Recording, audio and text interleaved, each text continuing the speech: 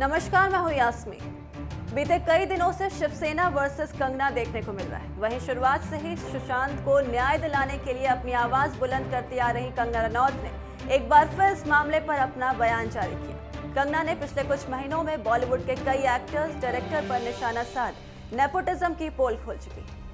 वहीं कंगना सुशांत मामले को लेकर अब तक कई एक्ट्रेसेस को आड़े हाथ ले चुकी हैं। जिनमें दीपिका पादुकोण, करीना कपूर खान और आलिया भट्ट जैसी एक्ट्रेसेस के नाम सबसे ऊपर हैं।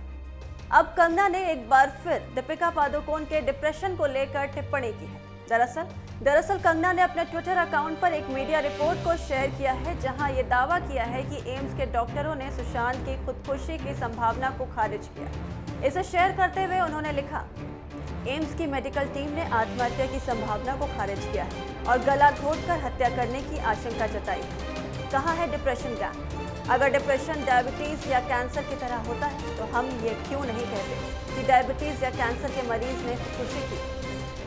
तो देखा आपने कंगना ने अपने इस ट्वीट के ज़रिए दीपिका पर निशाना साधते हुए कहा कि कहाँ है डिप्रेशन गैप बता दें कि एक समय में खुद डिप्रेशन का शिकार हुए दीपिका ने रिपीट आफ्टर मी नाम से सोशल मीडिया पर एक कैंपेन शुरू किया था, जहाँ उन्होंने डिप्रेशन को कैंसर और डायबिटीज़ की तरह ही एक बीमारी बताई थी। इसे लेकर ही अब कंगना ने दीपिका पर तंज कसा है वैसे ये पहली बार नहीं है जब कंगना ने दीपिका को लताड़ लगाई हो। इससे पहले भी कंगना दीपिका को खरी खोटी सुना चुकी है।